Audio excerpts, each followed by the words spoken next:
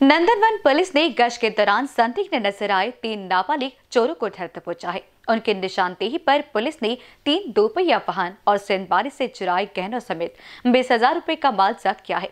इस संदर्भ में वरिष्ठ पुलिस निरीक्षक मुख्तार शेख ने अधिक जानकारी साझा की। शिवनकर नगर, खरबे निवासी मोनू मोहम्मद वाजिद अंसारी ने थाने में शिकायत दर्ज कराई थी कि किसी ने रात करीब 10 बजे उनके घर के सामने सड़क के पास खड़ी उनकी ऑरेंज रंग की मोपेड चुरा ली है।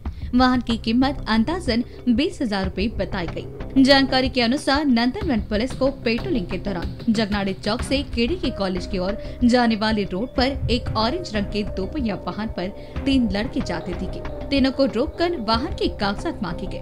पहले तो तीनों ने बरकल आने की कोशिश की, लेकिन थोड़ी सी सख्ती के बाद उक्त वाहन की चोरी की काबुली दी। तीन को थाने में लाकर कड़ी पूछताछ की गई तो उन्होंने तीन और चोरियों का खुलासा किया जो इमामपाड़ा और पार्टी थाना क्षेत्र में की गई थी। मी मुख्तार शेख वरिष्ठ पोलीस निरीक्षक नंदनवन पोलीस स्टेशन।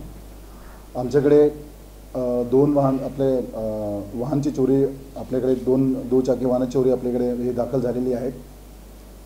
अजूनही कम तीन ते चार अजून दाखल झालेले आपल्याकडे. त्यापैकी दोन नंदनवन पोलीस स्टेशनचे एक इमामवाड्याची आणि एक पहाडीची घरपोडी आपण ओपन केलेली आहे. आपल्याकडे आपण तीन नाबालिक विधी संघर्ष बालक आपल्याला सापडलेले आहेत. ज्यांच्या पूर्वीचा रेकॉर्ड पण आहे. आपण त्यांना ताब्यात घेतलेला आहे.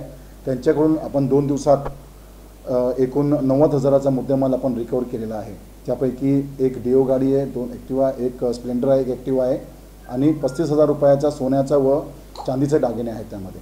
तर एकूण मुद्देमाल आपण नव्वद हजार रुपयाचा रिकवर त्यांच्याकडून केलेला आहे. आणि अजून चौकशी चालू आहे.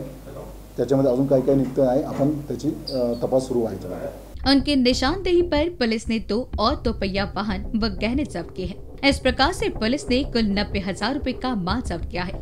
यह कार्यवाही DCP doctor Akshay Shinde, ACP doctor Nilesh Palvi, PI Mukhtar Shaikh, Sandeep Gundalwar, Vikas Som, Pravin Bhagat, Chandrashekhar Kadam, Swapnil Tanturkar, Rupali Bhupar आदि ने की।